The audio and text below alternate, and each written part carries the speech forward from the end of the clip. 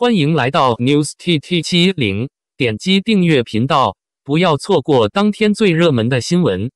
杨紫丑小鸭变天鹅，从一十五岁到现在，完美蜕变太惊人。想要做明星，也是需要一定颜值的。比如杨紫就曾经说过，扮演她妈妈的宋丹丹阿姨就说过，其实她不适合做演员，因为杨紫的长相实在不够出众。但是现在的杨紫和小时候的她已经大变样了，现在瘦了好多，五官也精致了，加上演技出众，在娱乐圈中的发展反而是不错呢。自然，很多人也十年怀疑杨紫是不是已经整容了。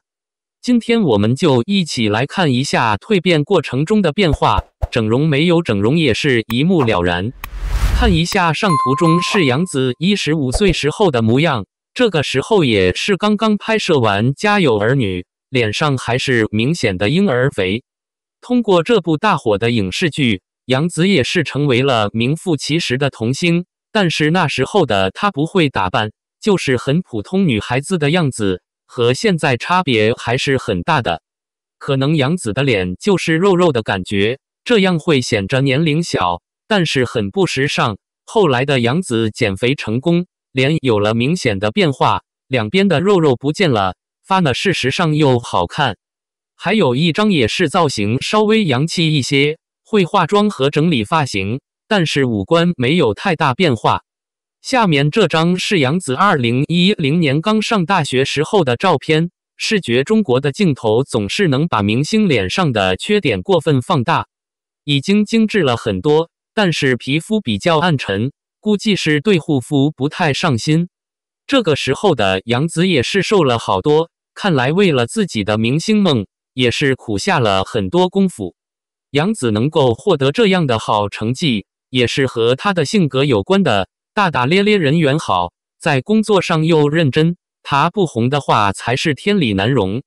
后来的杨紫就可以从剧照中看到了，下面是《幸福来敲门》中的形象。这个时候，杨紫的脸型变小了很多，皮肤光滑，气色好，估计是这个时候已经有在减肥了。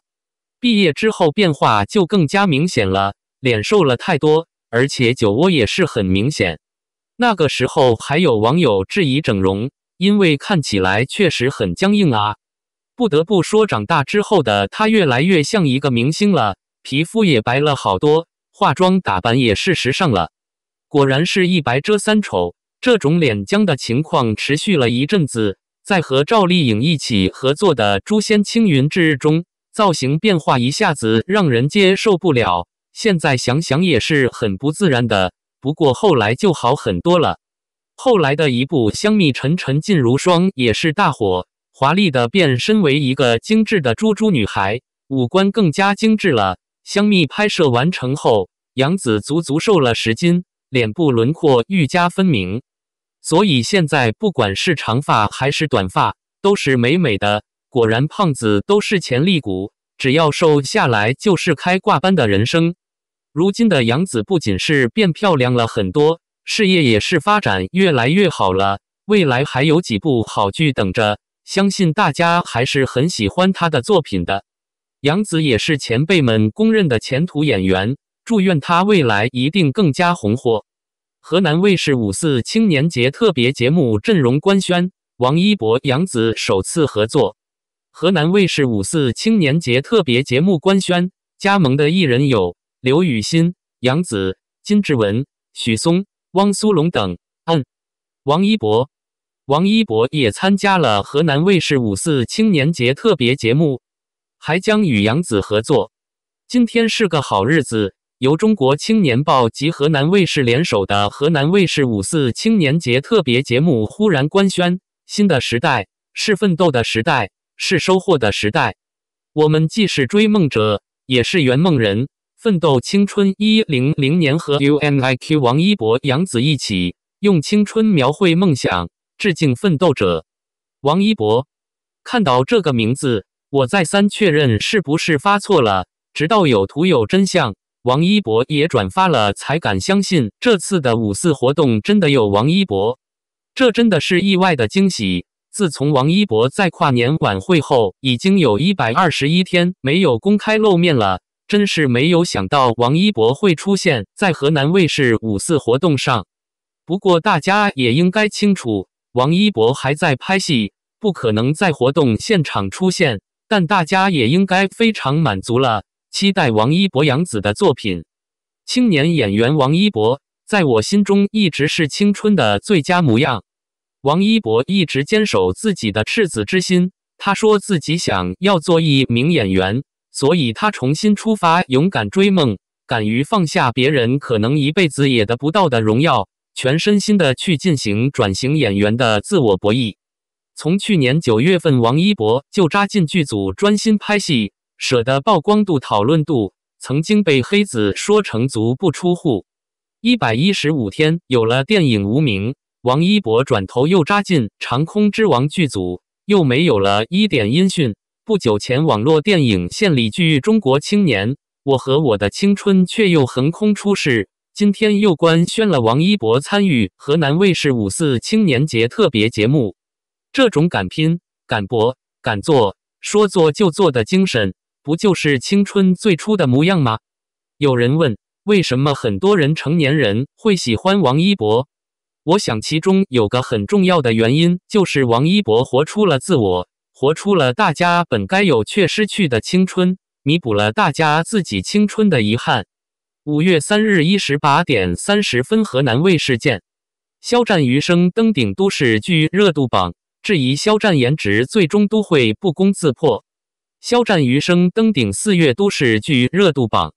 当顾魏医生身穿白大褂，走在医院洒满阳光的走廊上，当顾魏凝望女主，说出真诚动听的情话。没有人不会为这样一位无论外貌还是人品都闪烁着灼灼光华的人心动。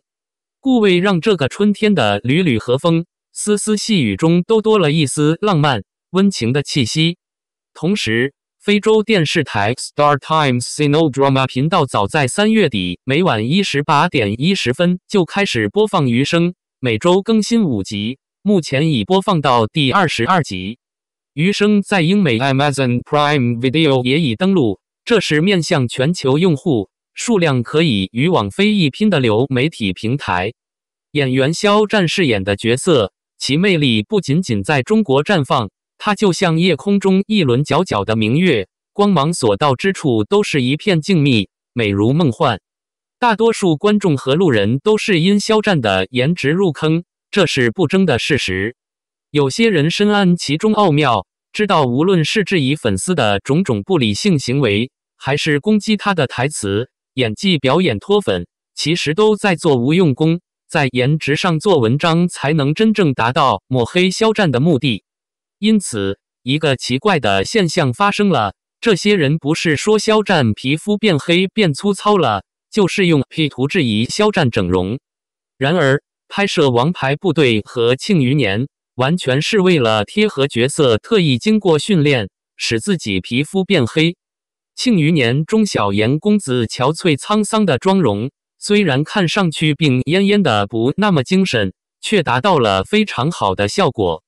整容说更是滑稽。如果看的不是 P 图的话，就会发现肖战明显是胖瘦的变化，五官并没有改变。而这些人在某一位明星官宣加盟晚会后，暴露了一直以来隐藏的真实目的。这位明星的官宣图看上去还好，他极具代表性的法令纹和圆润的面部轮廓，经修图师一番操作后，转变成赏心悦目的高级脸。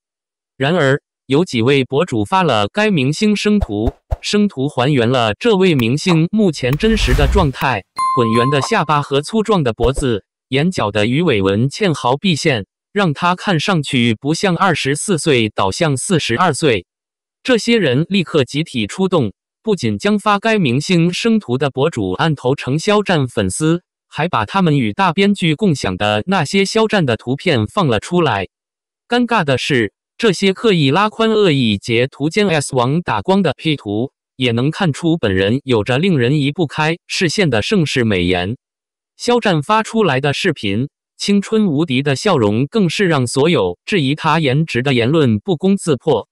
既有令人看后有如沐春风之感的颜值，又兼具才华、努力和自律。即使外界喧哗错综，肖战和所有喜欢他的人，人生若只如初见，这份感情从始至终都不曾有一点改变。感谢您观看视频。如果您觉得本时事通讯有用，请不要忘记点赞、评论和订阅。祝您生活愉快，充满活力！